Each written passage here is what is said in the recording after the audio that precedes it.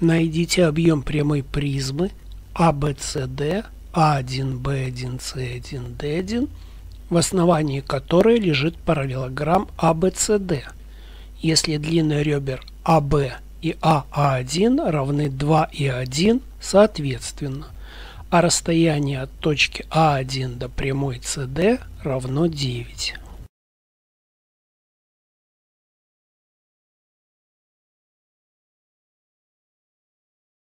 Проведем перпендикуляр AH к продолжению стороны CD. Так как призма прямая, то АА1 перпендикулярен основанию призмы. АА1 перпендикулярен AH. AH – проекция наклонной А1H.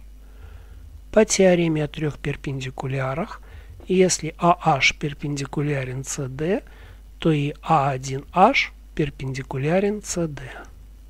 Значит, А1H расстояние от А1 до CD и равен 9.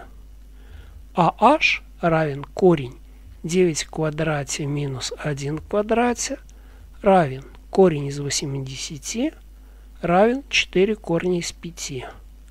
Объем призмы равен площадь основания умножить на h равно а h умножить на cd умножить на aa1 равно 4 корня из 5 умножить на 2 умножить на 1 равно 8 корней из 5.